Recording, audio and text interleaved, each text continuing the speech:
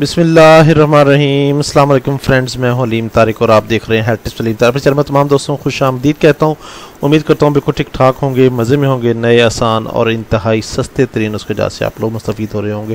Video شروع کرنے سے پہلے تمام بہنوں بھائی سے ریکویسٹ ہے جن لوگوں نے اب تک چینل کو سبسکرائب نہیں کیا برائے مہربانی ویڈیو کو لائک کریں، چینل کو سبسکرائب کریں نوٹیفیکیشن بٹن کو آن کریں تاکہ میری ہر نئی ویڈیو سب سے پہلے آپ کو مل سکے۔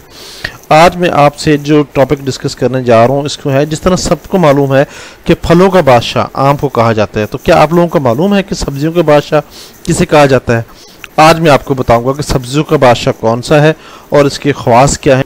جیسے آم کو پھلوں کا بادشاہ مانا گیا ہے، بالکل ویسے ہی ٹماٹر کو سبزیوں کا بادشاہ مانا جاتا ہے۔ اور اگر غذائی اعتبار سے زیادہ لیا جائے تو ان دونوں کے فوائد یکساں ہیں۔ یہ زمین پر سبزیوں کی صورت خدا کی سب سے بڑی نعمت ہے۔ ٹماٹر کو ہر مقام پر دنیا بھر میں سلاد کے طور پر کثرت سے استعمال کیا جاتا ہے۔ ٹماٹر کی دو قسمیں ہیں، میدانی ٹماٹر اور پہاڑی ٹماٹر۔ میدانی علاقوں کا ٹماٹر گول اور پہاڑی علاقوں کا ٹماٹر لمبوترا ہوتا ہے۔ اسے ولایتی بینگن بھی کہتے ہیں۔ سبزیاں پکاتے وقت اسے ان سبزیوں میں شامل کر کے پکایا جاتا ہے۔ اس سے کھانے کا لطف دوبالا ہو جاتا ہے۔ یہ دنیا میں تقریباً ہر جگہ پایا جاتا ہے۔ اس کے اجزاء میں فلاد وٹامن اے وٹامن ایچ اور وٹامن سی شامل ہیں۔ اس کے خواص اور علاج کو ڈسکس کرتے ہیں۔ ٹماٹر خون صاف کرتا ہے اور خشکی کو دور کرتا ہے۔ وہم اور دہشت کو ختم کرتا ہے۔ سبزیوں میں اسے ملا کر پکانے سے اس کی وٹامن سی ضائع ہو جاتی ہے۔ مگر یہ سبزیوں کی غذائی اہمیت کو بڑھا دیتا ہے اور طبیعت کو فرحت دیتا ہے۔ گرمیوں میں اس کا استعمال گرمی اور حرارت کو ختم کر دیتا ہے۔ اس لیے اس کا استعمال گرمیوں میں زیادہ ہوتا ہے۔ وہ سبزیاں جن کی تاثیر گرم ہوتی ہے، اگر ان میں ٹماٹر شامل کر دیا جائے تو ان کی گرمی زائل ہو جاتی ہے اور ان کی طبی تاثیر بھی تبدیل ہو جاتی ہے۔ ٹماٹر کو کاٹ کر ہلکا سا نمک لگا کر پیاز کے ساتھ اگر کھایا جائے تو ہر دل عزیز ہے۔ مگر یہ اس طرح میدے کے نظام کو بھی درست کرتا ہے۔ کیونکہ پیاز اور ٹماٹر دونوں میدے کے لیے اکثیر کا درجہ رکھتے ہیں اور یہ دونوں مردانہ طاقت میں بھی بہت اکثیر ہے۔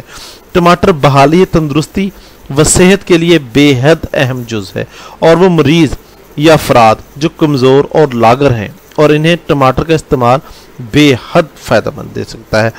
دانتوں کے امراض یا دانتوں کو مضبوط بنانے کے لیے اور بیماریوں سے محفوظ رکھنے کے لیے ٹماٹر کا استعمال بے حد ضروری اور اہم ہے۔ لاگر کمزور بچوں کو ہر صبح صبح ٹماٹر دھو کر چوسنے کے لیے ضرور دینا چاہیے، کیونکہ بچوں کی پرورش کے لیے اس میں بھی سبھی اجزاء موجود ہیں۔ بچوں کو ٹماٹر کا جوس دیا جائے تو انہیں دانت نکالنے میں بڑی آسانی ہوتی ہے اور اس کے ساتھ ساتھ ان کا میدا بھی ٹھیک کام کرتا رہتا ہے۔ شیر خوار بچے کو ایام ریاضت میں ٹماٹر کھانے سے فائدہ ملتا ہے، کیونکہ ٹماٹر کے استعمال سے ماں کا خون صاف ہو جاتا ہے اور اس سے بچے بھی فائدہ حاصل کرتے رہتے ہیں۔ اس لیے وہ مائیں جو بچوں کو اپنا دودھ پلاتی ہیں، انہیں ٹماٹر ضرور اور ہر حالت میں کھانا چاہیے۔ حاملہ خواتین، ہر صبح اٹھیں تو ایک ٹماٹر چوس لیں یا اس کا رس نکال کر پی لیں۔ ان کا میدہ درست کام کرتا رہے گا اور قے اور مطلع کی شکایت میں بہترین دوا ہے۔ ہمیشہ کے لیے جسمانی کمزوری سے بچنے کے لیے، ہر دوپہر کو کھانے کے بعد مولی اور چکندر، سلاد، گاجر، ٹماٹر کا استعمال آپ کو صحت مند رکھتا ہے اور ہاضمہ بھی درست رکھتا ہے اور یہ قوت باب بھی نہایت مفید ہے۔ جب کچا ٹماٹر کھایا جائے تو کچھ دیر ہر گیز پانی نہیں پینا چاہیے۔ ٹماٹر بادی اور بلگم پیدا کرنے کا موجب ہے اور نفق پیدا کرتا ہے۔ وہ لوگ جو سینے اور گلے کے مریض ہیں، وہ ہر گز ٹماٹر نہ کھائیں۔ ٹماٹر کا بکثرت استعمال گردے کے امراض کے لیے نہایت مضر ہے۔ امید ہے آپ کو یہ ویڈیو پسند آئی ہوگی۔ کسی بھی قسم کی مسئلہ پریشانی میں یا کسی بھی قسم کی انفارمیشن کے لیے آپ ہم سے رابطہ کر سکتے ہیں۔ رابطہ نمبر دی جا رہا ہے بیرون نمبر کو مقیم رات واٹس ایپ نمبر پر رابطہ کر سکتے ہیں۔ برائے مانی رات نو سے دس بجے تک کال کیا کر تاکہ آپ کی بات کو توجہ سن کر آپ کی بہترین رہنمائی کی جا سکے۔